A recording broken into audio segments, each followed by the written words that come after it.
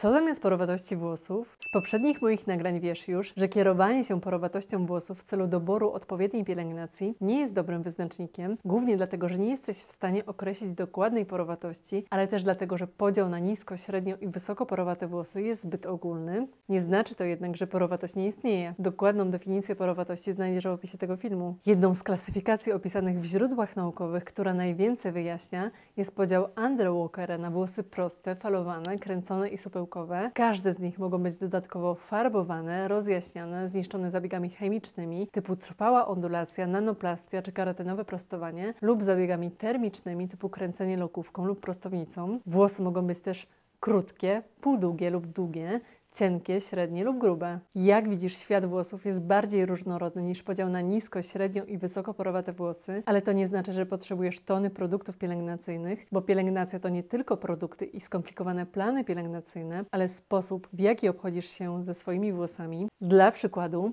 gdy będziesz próbowała suszyć włosy kręcone na szczotkę, to będą one wyglądały na spuszczone, matowe i trudno będzie Ci je ujarzmić. A jak będziesz próbowała kręcić włosy proste, to też efekt może się długo nie utrzymać, a włosy mogą stać się matowe. Inaczej też na rozjaśnienie zareagują włosy proste, a inaczej falowane czy kręcone. W kolejnym filmie omówię krótko typy włosów według Andre Walkera, bo ważne jest, byś wiedziała, jaki jest typ Twoich włosów.